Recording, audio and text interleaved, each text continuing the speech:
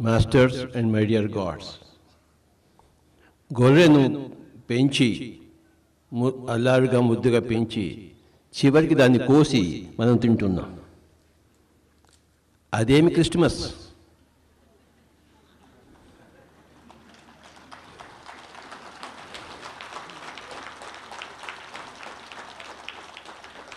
అది క్రిస్మస్ అవుతుంది ఏమిటి? చేపను కోసి క్రిస్మస్ నాడు చక్కగా పండుగ చేసుకుంటే మేకను కోసి గొర్రెను కోసి ఆవును కోసి ఎద్దును కోసి ఒంటెను కోసి.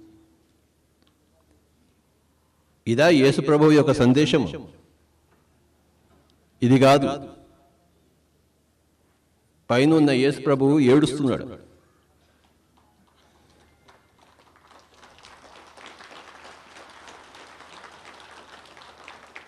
పైనున్న బుద్ధుడు ఏడుస్తున్నాడు.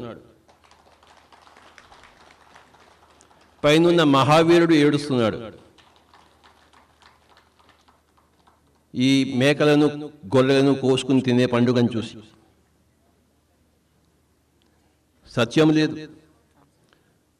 ఈ రక్తపాతములో పండుగ లేదు.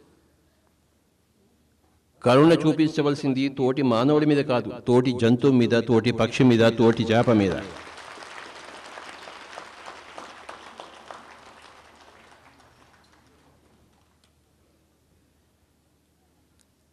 దసరా పండుగ చేసుకుని కోడిని మేకలను కోసుకుని దీపావళి పండుగ చేసుకుని మేకలను గద్దలను తిని సంక్రాంతి పండుగ చేసుకుని మొత్తం అంత నరికి.